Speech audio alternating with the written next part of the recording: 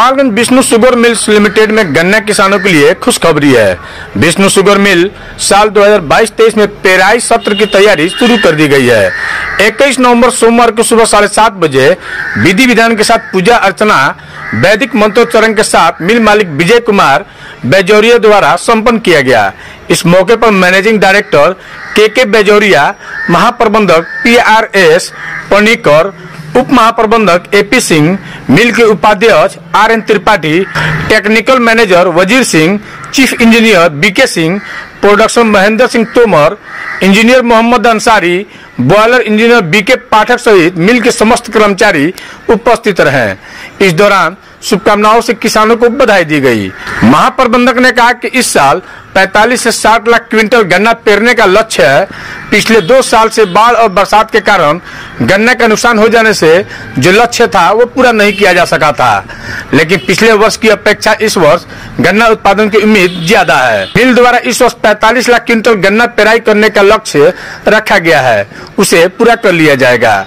वहीं उन्होंने कहा कि गन्ना किसानों को खेती के लिए उन्नत बीज और खाद मिल की ओर से दिया जा रहा है। इसके साथ ही किसानों से गन्ना खेती में बीस, इकसठ नंबर की बीज उपयोग नहीं करने का सलाह दिया और बताया कि यह खेत और मिल दोनों के लिए नुकसानदायक है।